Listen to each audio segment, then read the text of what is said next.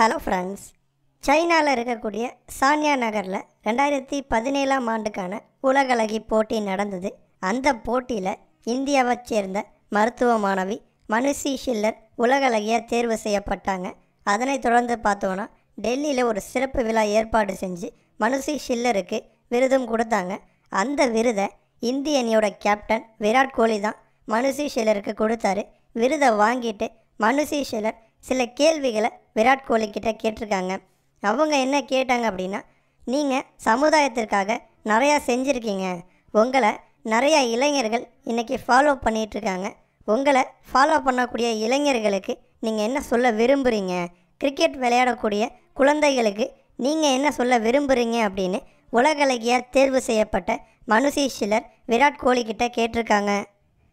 அதற்கு பதில் சொன்ன இந்திய அணியோட கேப்டன் விராட் கோலி ஆடுகளத்தில் எப்போதும் நம்ம என்ன செய்யணும் அப்படிங்கிறதுல தெளிவாக இருக்கணும்.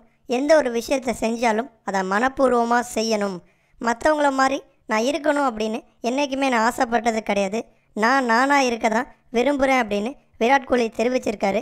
அதோட மட்டும் இல்லாமல் நீங்கள் உங்களுக்கு முன் உதாரணமாக நிறைய பேரை பின்பற்றலாம்.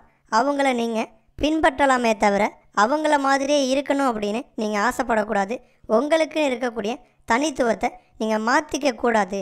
அப்போ தான் ஜெயிக்க முடியும் அப்படின்னு விராட் கோலி தெரிவிச்சிருக்காரு. இந்த வீடியோ உங்களுக்கு பிடிச்சிருந்துச்சு அப்படின்னா லைக் பண்ணுங்கள் ஷேர் பண்ணுங்கள் மறக்காமல் தமிழ் ஸ்பைசி சேனலை சப்ஸ்கிரைப் பண்ணுங்கள்